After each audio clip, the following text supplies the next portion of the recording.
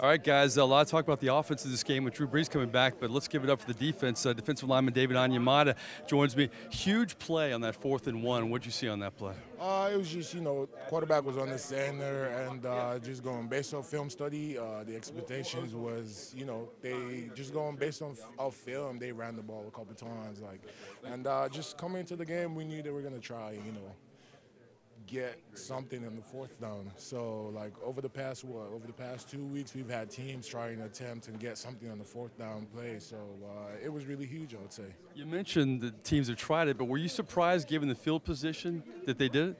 Uh, not really. No, not really. It's uh, it was just I don't know what they were thinking, but it was just what they did. Yeah.